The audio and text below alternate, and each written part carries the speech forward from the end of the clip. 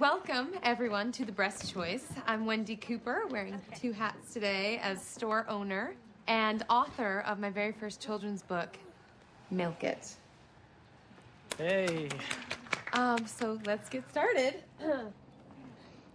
Hi. Goats do it.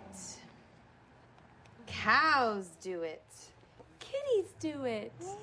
Even dolphins in the sea do it. When your mommy uses her breast to feed a baby, she is feeding her baby the It! Gary. Oh, okay, okay. Sorry. I got it. I got it. Hey, kid!